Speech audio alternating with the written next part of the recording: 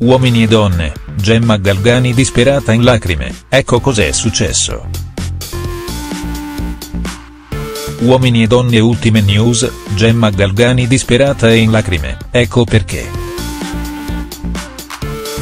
Cancelletto Gemma Galgani torna a raccontarsi nello studio tv di Verissimo, la trasmissione del sabato pomeriggio di Canale 5 condotta da Silvia Toffanin dove abbiamo visto che questa settimana si è raccontata in esclusiva. La dama ha ripercorso con la conduttrice le varie tappe della sua tormentata storia d'amore con Giorgio Manetti, il cavaliere toscano che le ha fatto perdere la testa in questi mesi al punto da costringerla a chiudere tutte le sue ultime storie d'amore nate in trasmissione dalla De Filippi.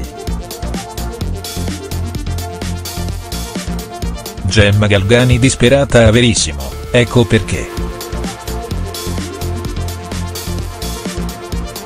Un'intervista decisamente molto sentita e al tempo stesso emozionante per Gemma Galgani, la quale ha confessato in lacrime che ad oggi sente ancora di essere innamorata profondamente di Giorgio, nonostante il cavaliere le abbia detto chiaramente che non intende recuperare la loro storia d'amore.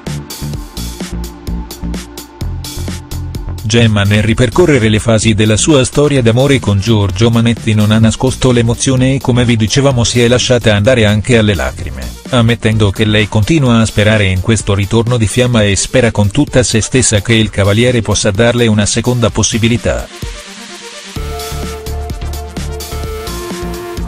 Tutto questo al momento non è ancora avvenuto e anche nelle prossime puntate di Cancelletto Uomini e Donne che sono state registrate nei giorni scorsi, non ci sono stati dei gravi cambiamenti.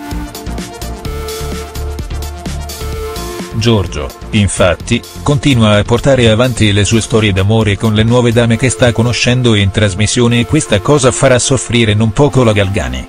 Colpo di scena per Gemma Galgani, la scelta di Tina a Uomini e Donne. Ma il vero colpo di scena ci sarà nel corso della prossima registrazione del Trono Over, video, in programma questa settimana.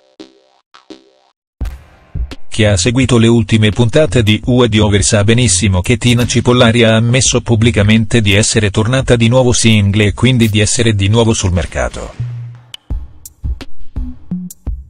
Possiamo svelarvi che la dama torinese della trasmissione di Maria De Filippi ha scelto di ripartire proprio dal trono over e ha accettato la proposta di Maria De Filippi di rimettersi in gioco conoscendo nuovi cavalieri proprio all'interno dello studio del trono over.